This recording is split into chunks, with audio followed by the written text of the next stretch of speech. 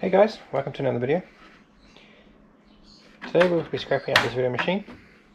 Uh, this is the one that didn't work originally. Um, so as you can see it's not the DVD VCR combo that you will see in the first part. So what I'll do today is, I'll just essentially um, take it apart. I won't worry about breaking any of the parts down. I'll do that in another video. So we'll get straight into it.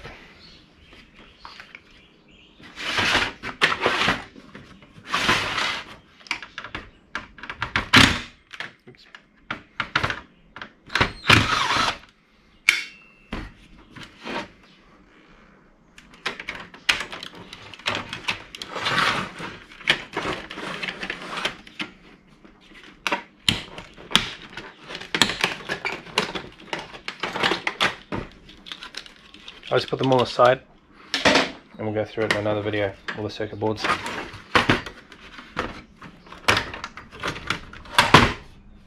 Nice pressing steel, clean piece.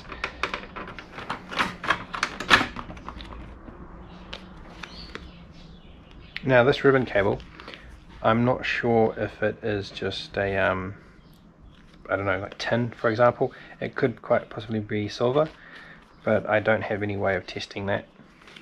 So I might possibly put it aside and put it in with my um, keyboard traces. Save those for a rainy day.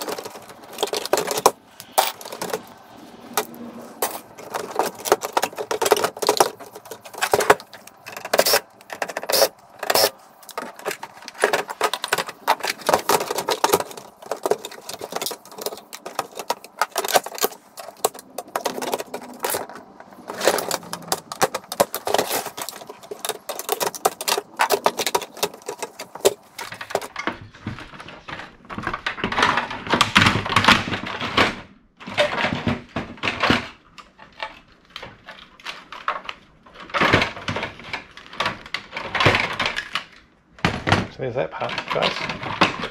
All taken out.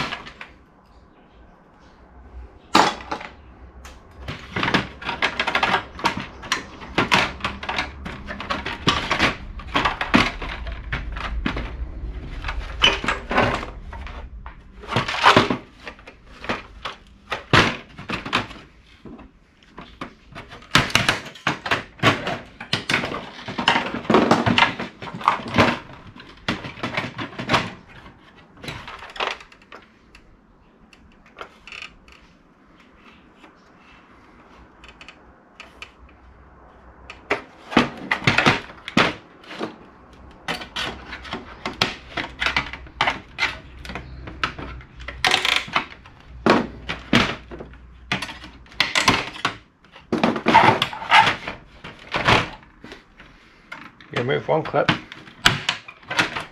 and all the other clips align themselves. But here we go, we got it. So there we go. There's not too much to this, to these old VCRs. So in another video I'll just break it down a little bit further, take off a few of these chips and everything like that.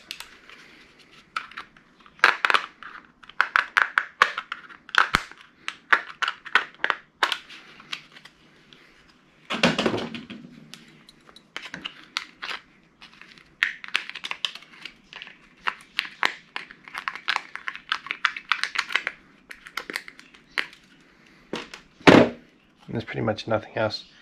I mean, there's lead. I mean, if you've got a heat gun, you could you could probably stand here and heat this up and try and remove all this lead. There's some extra value, but I'll just go in the um, circuit board pile for me. And there's nothing really on this part of the board here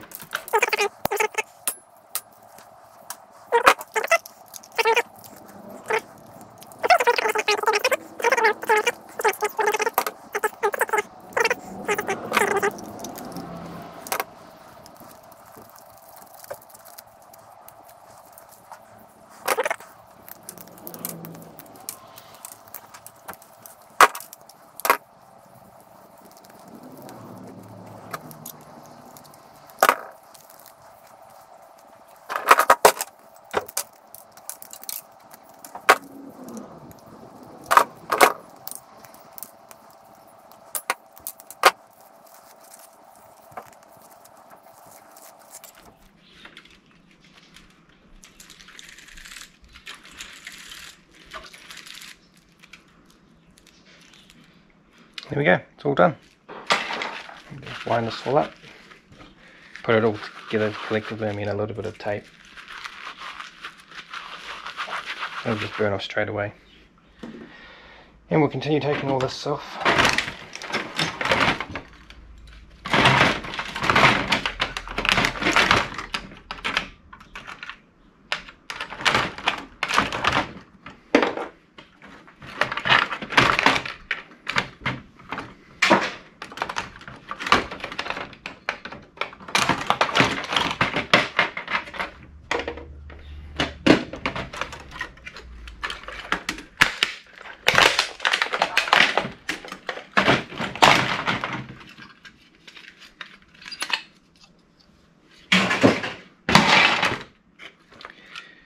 This um, chip here, I'll take that chip off, but I won't worry about I'm trying to pull this circuit board off. I mean, it all goes in the same um, pile anyway.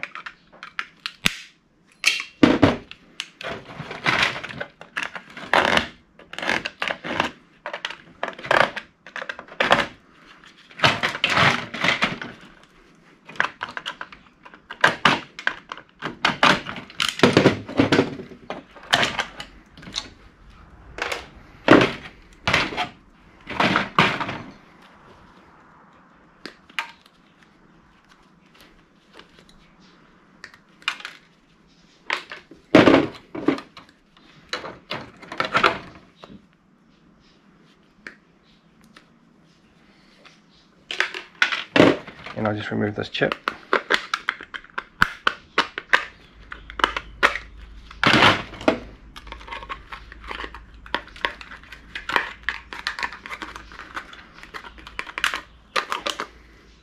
And then that again just goes straight to the circuit board pile. Same with this. Um, I'll try and remove this chip. The reason I chop it is because if I use my pliers or my side cutters, 9 times out of 10 it splits in the middle, where it splits and just disintegrates in these tight to reach spaces, but here it's going to show me up because I'm recording it.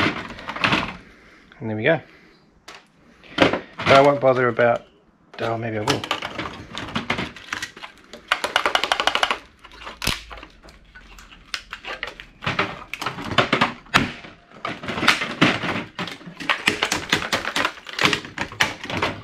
see what's inside this as well. Sometimes these contain little copper pieces.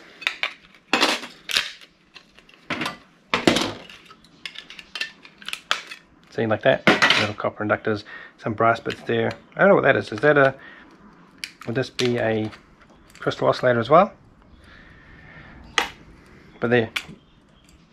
I stopped taking these off, stopped processing them because to try and remove this is quite tedious, this outer shell as I'll try and do for you now. But again, it'll probably come really easy because I'm recording it.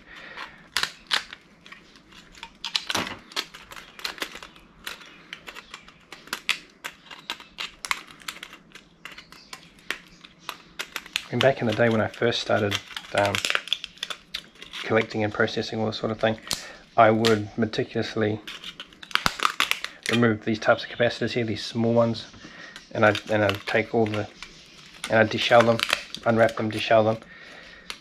And then just, you know, as I started to collect so much more, I just really haven't had the time to be able to do that.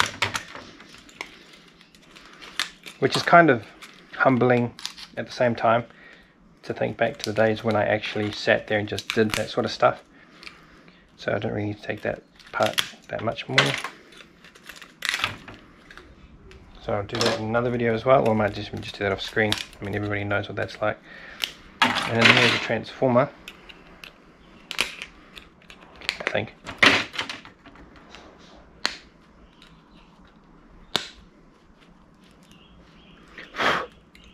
I know. Bit of copper, as you can see.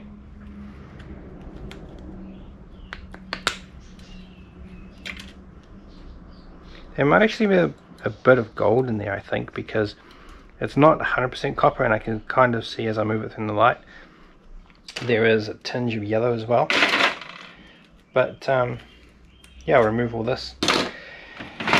And last but not least, remove these chips here. And then that'll be it. And then the rest can just go into the mixed um, metals or circuit boards.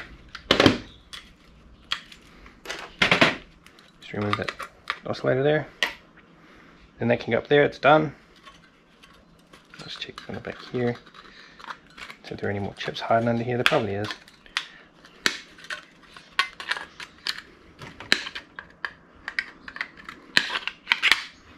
Yep, there it is.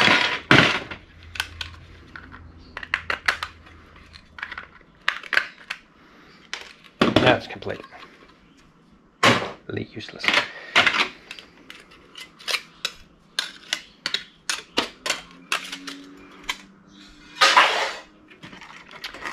And one more there, that Toshiba chip.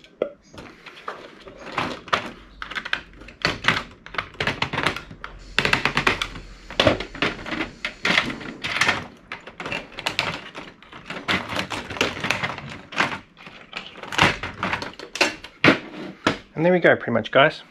Done and dusted, really. Just remove that chip off there off screen, clean up all that. Um, remove that inductor cap there. I do take these off, as you can see there's some nice decent copper in there too. It's, it's grade 2. But nonetheless, it's still better than nothing. And it all works up over time. I like to roll them into little balls too, rather than leave them the way I took it off. makes it easier to put into my furnace. So, there we have it guys. So in the next video guys, I will take apart this, because um, there'll be some bits and pieces underneath this head. It might be a little bit tedious to get into at times, but there's a nice big cast aluminium piece here. And on the back side here, there's a nice, um, you can see some copper in there. So thank you for joining me. Look after yourselves and I'll catch you on the next one. Cheers.